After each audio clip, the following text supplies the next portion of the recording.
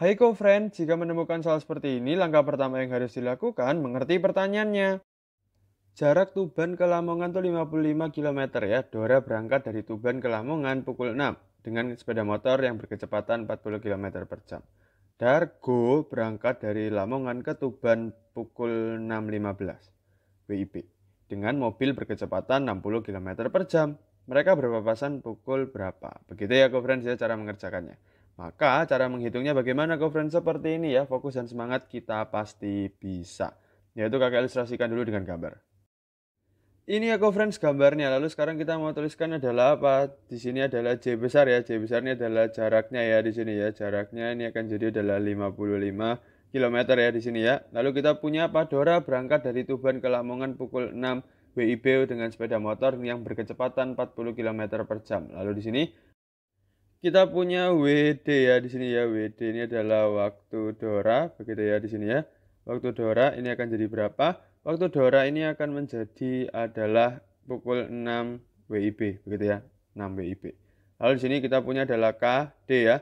KD ini apa? KD ini adalah kecepatan dari si Dora ini ya. Kita mau tuliskan ya kecepatan Dora, begitu ya. Ini akan jadi berapa? Kecepatannya Dora ini adalah di sini 40 km per jam. Begitu ya di sini ya kita mau tuliskan ya.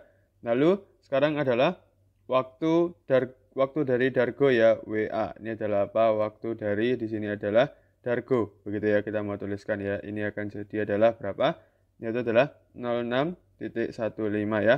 Lalu sekarang kita mau tuliskan apa? Di sini adalah yaitu adalah di sini mobil yang kecepatannya 60 km per jam berarti KA ya. Ini adalah apa? Conference kita mau tuliskan ya kecepatan di sini adalah yaitu adalah di sini kecepatan Dargo.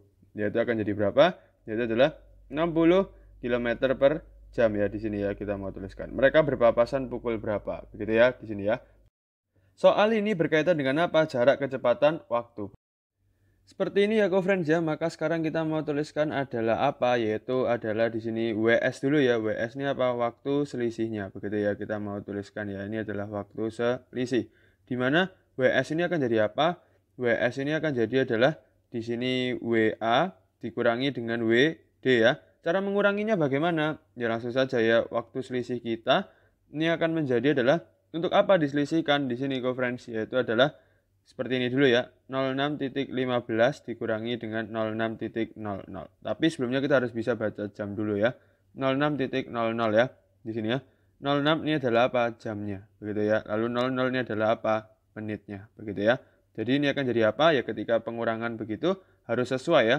06.15 dikurangi 06.00 ya. Selisihkan waktunya jam dengan jam, menit dengan menit ya. Berarti ini 15 kurangi 0 berapa? 15. Ini adalah 0 ya. 0015 berarti adalah berapa?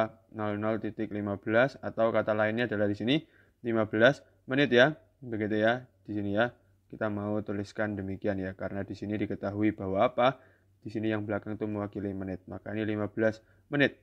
Oleh karena itu langkah berikutnya adalah yaitu di sini mencari apa yaitu adalah jarak yang sudah ditempuh oleh si Dora ya begitu ya karena di sini kita ketahui bahwa dia berangkat terlebih dahulu pukul 6 lalu disusulnya pukul 6.15 berarti dalam 15 menit ini dia juga sudah melewati sebuah jarak begitu ya ya bagaimana cara mengerjakannya di sini co-friend seperti ini ya caranya adalah untuk di sini mendapatkan jarak yang sudah ditempuh berarti kita mau tuliskan nanti adalah di sini adalah JD ya, yaitu adalah jarak Dora begitu ya. Di kertas berikutnya nanti akan jadi apa? Yang di bawah ini saling dikalikan. Kecepatan dengan waktu ya. Ini dikalikan dengan ini ya di kertas berikutnya. Di sini ya co-friends ya kita mau lanjutkan di situ ya. Ketika kakak punya di sini ya 40 km per jam begitu ya. Ini akan jadi apa ya? Berarti 40 km begitu ya. Kita mau tuliskan dulu ya 40 km per 1 jam ya begitu ya. Di mana kita tahu dulu bahwa pas satu jam itu adalah berapa yaitu adalah 60 menit ya. Untuk apa? Nanti kita akan kalikan ya jarak itu apa kecepatan kali waktu ya. Di mana waktunya dalam menit jadi kita harus konversikan semuanya ke dalam menit begitu ya di sini ya berarti 40 km per 60 menit gitu ya di sini ya. Maka jaraknya JD ini akan jadi adalah KD dikalikan dengan WS begitu ya. Maka JD ini akan jadi berapa? KD-nya ini adalah berapa? 40 km di sini per di sini adalah 60 di sini menit begitu ya. Ini akan dikalikan dengan apa conference yaitu adalah 15 menit begitu ya di sini. Maka bagaimana cara mengerjakannya ya? Langsung disederhanakan ya menit dengan menit bagi 15 jadi 1 jadi 4 bagi 4 jadi 1 ini jadi 10 ya. Ini akan jadi berapa? 10 km. Jadinya ini 10 km. Ini tuliskan 10 km ya. Lalu sekarang adalah JS. Kita mau cari JS ini adalah jarak sisanya ya. Begitu ya kita mau tuliskan jarak sisa. Jarak sisa ini akan jadi apa? JS ini akan menjadi adalah jaraknya 55 km tadi. Begitu ya dikurangi dengan JD. Begitu ya di sini. Maka JS ini akan jadi apa? 55 km di sini ya akan dikurangi dengan 10 km. Ini akan jadi berapa adalah 45 ya co-friends ya kilometer di sini. Ini akan jadi berapa co-friends di sini? Ini akan menjadi adalah maka sekarang di sini co-friends kita sudah tahu ya jarak sisanya itu 45 km ini. Lalu sekarang bagaimana caranya untuk bisa mendapatkan jawabannya? Begitu ya. Kita baca ulang lagi soalnya. Begini. Kita tahu bahwa apa? Dora itu berangkatnya dari Tuban ke Lamongan. Berarti kita anggap ini Dora ya. Tuban ke Lamongan. Begitu ya. Lalu di sini apa conference Dargo itu dari Lamongan ke Tuban. Kira-kira seperti ini ya. Maka apa? Mereka tuh menuju ke arah yang sama begitu ya. Di sini ya mereka berpapasan begitu. Di mana kita tuh mau cari apa? Adalah waktunya begitu ya. Mereka berpapasan itu kapan? Jarak sisanya kita tahu ya 45 km ya. Ini ketika sudah berjalan 15 menit tadi kedua-duanya sudah mulai berjalan begitu ya. Tersisa 45 km. Lalu kita mau cari apa? kecepatan mereka ya di sini ya kita mau tuliskan kecepatan mereka yaitu adalah km-nya begitu ya km ini adalah kecepatan mereka kenapa mereka karena mereka menuju arah yang sama begitu ya jadi kita mau tuliskan kecepatan mereka yang akan menjadi apa conference kecepatan mereka ini km ini akan menjadi adalah kecepatannya si di sini Dora KD ya akan dijumlahkan dengan kecepatan dari si siapa conference yaitu adalah Dargo km itu KD tambah KA maka KM ini akan jadi berapa? Langsung ya. Di sini adalah si Dora dulu 40 km per jam. Ini akan dijumlahkan dengan berapa? Yaitu adalah 60 km per jam. Begitu ya di sini ya. Ini akan jadi demikian.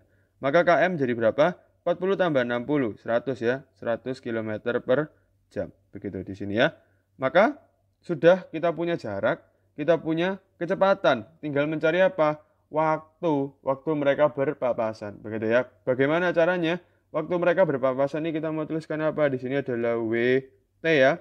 WT begitu kita mau tuliskan WT WT sendiri itu apa friends waktu berpapasan. Begitu ya di sini ya. Waktu berpapasan kita tahu dari segitiganya begitu ya yang di atas itu adalah jarak yang di bawah itu kecepatan dan waktu ya di mana ini kakak tuliskan ya C ini K ini W kakak gambarkan ulang begitu di mana ketika kita mau cari apa? Waktu berpapasan, berarti mencari waktu. Ini akan jadi apa? Jarak per kecepatan ya. Garis ini menunjukkan apa? Pembagian begitu. Sementara ketika yang dicari J-nya ya tinggal dikalikan ya. Kecepatan kali waktu. Seperti contoh yang tadi. Begitu ya. Maka ini akan jadi apa? Jaraknya berapa? WT. WT ini akan jadi JS per KM di kertas berikutnya. Maka sekarang WT ini akan jadi apa? Conference ya. Di sini ya. Ini kita mau tuliskan 45 km per di sini adalah berapa? 100 di sini kilometer per jam. Begitu ya. Berarti seperti tadi ya, per jam itu apa? Berarti adalah per 1 jam.